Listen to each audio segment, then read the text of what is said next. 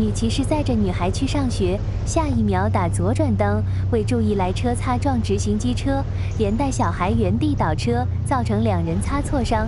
遭撞的骑士无奈停靠路边，等待警方到场处理。上一个路口才出事，下一个路口又有行人违规穿越马路，真是白眼翻到月球去了。不愧“行车行人地狱宝岛”。